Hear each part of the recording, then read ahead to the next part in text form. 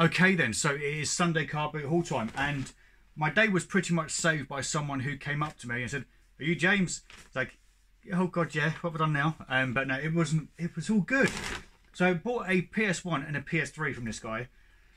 PS1 appears to be chipped, as there are um, copied games, and the the non-copied games are actually quite decent. And he said, "Look, just give me, just tell me what you want to pay." And I said, "I know, fifty quid." Knowing that I can sell the PS3 for about that, so the, everything else is just pure profit, really. Said yes straight away. So I probably should have gone lower. Um, so, th- yeah, there's a fair few decent games. As I say, there's a load of copied games, and there's a load of genuine games. So, Uno Memento.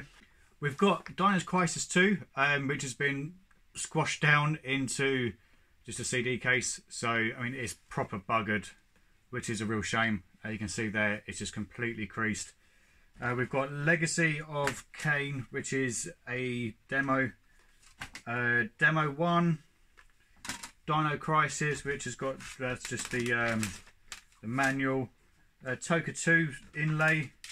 Loads of random rubbish. Uh, I've got you know what? I have got a whole stack of copied stuff to get rid of. Oh, that's sticking together. What is that about? I don't know. But it's got Evil Dead Hail to the King and Infinite Professional Digital Thingamajiggy. Let's get rid of all the copied stuff because no one really cares about that. It's the main games that are are the peak of interest. So, in here, we've got what on earth is that? Is that... Oh, don't say that's wet. You know what? I've never seen that before. That's Legacy of Kain. Where it all... That's wicked. I'm fairly sure I don't have that. In a case, it does... So I forget the camera's over here. In a case, it does look off. So yeah, that is Legacy of Kain Soul Reaver which I do vaguely remember playing this with my little brother. Way back when, um, we've got Tekken 3 manual, we've got Resident Evil Platinum version, we've got Parasite Eve 2, Pro Evo Superstar Soccer Pro Platinum version, Dino Crisis, uh, Resi 2 Black Label, Colin McRae, Tomb Raider 3, Die Hard Trilogy Platinum, Resident Evil 3 Nemesis, Tomb Raider The Last Revelation, Black Label, Tenchu, or Tenko, Tenchu, Tenchu, Tenko, Ten, Tenchu, Tenchu. Uh, the second one, uh, Tomb Raider 2, Lara Croft, and Silent Hill. So, as far as the games go, yeah, pretty decent. We have got the PS1 as well, which it's got copied game inside it, which would lead me to believe that it is going to be a chipped console. Um, so, and I've still got a whole stack of about, honestly, like 50, 60 games of just copied stuff. So, I've just never got around to do, dealing with it. So, the chances are, for the time being, all of the copied rubbish is just going to all be piled together. Um, and then the PS3 is this bad boy, which is in overall fairly good condition. I've just reformatted two, so I'll stick this on while I go in and edit everything, which comes with a third party. I've got no idea what controller that is. Um, after Afterglow. That's not bad. Uh, what else do we have? An official PS3 controller, which is always nice. Fairly decent nick. Times two. Uh, power cable, which has got a bit of paint on it. And yeah, no HDMI, which is to be expected. So all I'm going to do is yeah, reformat it, list it with just one controller. Uh, spare controllers I always list, list separately. So I've got three PS3s in stock, which isn't bad going. And yeah, this was the save of the day at one stage because it was absolutely woeful. Right, let's get the rest of the gear out. I mean, I've not gone through my PS1 games in, I don't think I've actually done it this year.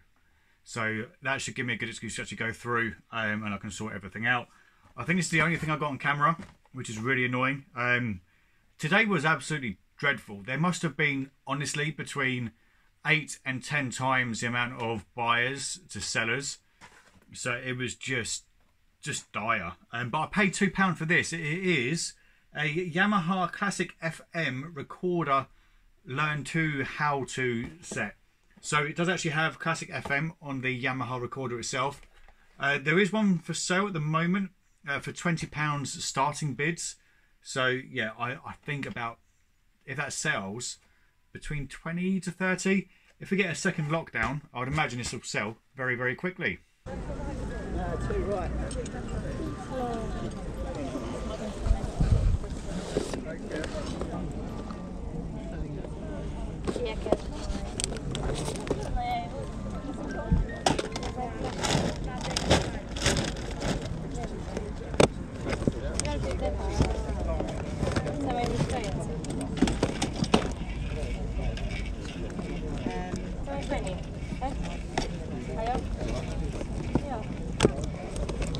much for your recorder? For the folder, mate. Yeah. Just makes an offer. We're just trying to sell it all, mate. So I'm, I'll, go too I'll mad. wait and see what else comes out just in case. All right, I'll mate. build up a little pile. Yeah, all right, then fair enough. Yeah, fair I won't enough. run, don't worry. Yeah, no, I'm not worried about that. Things just that, mate. Hey. Couple of quid? Yeah, all right, two pound that does. Nice one. Lovely. All right, enjoy. Cheers, thank you. This might also be my favourite pickup of the day. I paid a fiver for this, and it is a Pure Sonus 1XT. Now, this isn't just your average pure radio. This actually works for those who are blind, or at least partially sighted.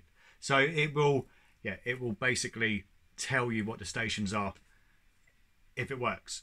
If it doesn't work, I should double my money at least. It, it should be between 10 and 15 pounds if it doesn't work. If it does work, however, I don't actually have a, a power cable for it, although I might have a spare one knocking around, I don't know. Uh, you're looking around 70 quid, which is, yeah, for a fiver investment, quite happy. Bought me mum a candle because they smell amazing. Um, although my dad did say, like, enough for the candles, son, she's got enough.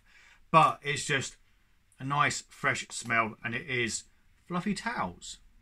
I bought shoe trees again. Um, I I don't know why, but they seem to keep on finding me. These are nice retro wooden shoe trees. Now this is by Brooks Brothers, established 1818. I paid four pounds for the pair, and they are they are quite cute um, as far as shoe trees go. So no idea what they are worth, to be honest with you, but yeah, I, I just quite fancy them. We have a pair of Northwest waterproof boots. These barely look used, to be honest with you. I mean, look at the tread on those. They are s- s- fantastic, fabulous, stupendous, and fantastic all at the same time. Whatever that word was that I just came up with. Uh, yeah, four pounds, which in this condition, genuinely no idea, but it's got to be more than four pounds, surely. From the same guy I got the shoes from, these were a pound each. So you have PS3 Modern Warfare 3, PS3 Modern Warfare 2, and we also have on the DS Professor Layton and the Lost Future. Uh, nice, standy, easy listing with video games. And then I found some, well, I didn't say I found some, um, Theo found some. Uh, he found a, a box of DVDs and VHSs. VHSs were 25 pence each, DVDs were 25 pence each or six for a pound. Didn't pick up any VHSs. There's loads of Disney ones, but I just didn't pick them up because I've got so many VHS tapes to go through. However, I did pick up some DVDs. So we do have Aladdin and the King of Thieves, uh, King of Thieves Special Edition.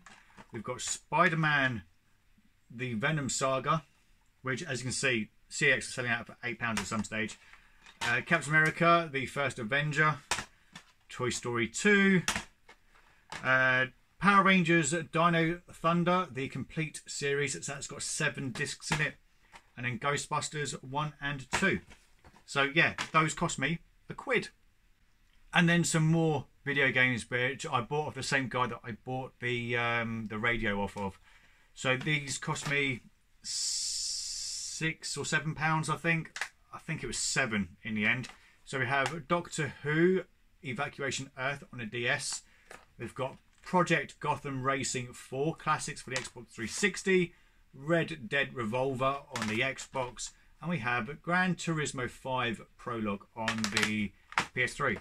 And that is pretty much everything I picked up on Sunday. So, as you guys are most likely aware, it was quite bad weather at the weekend. Now, there's normally two car boots that I, I tend to flick between, or I'll go to one first and another one afterwards on a Sunday. However, the one that I normally go to afterwards wasn't actually open.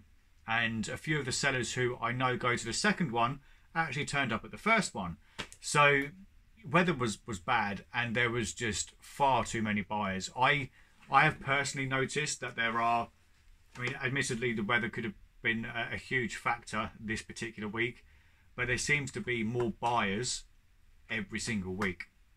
So I know there's a few Facebook uh, videos doing the rounds of retail arbitrage and it's really easy to make money, blah blah blah blah blah. So that's probably going to uh, help drive an influx of buyers to the car boots. But I think it was mainly the weather conditions today where there was again there was just more people than usual.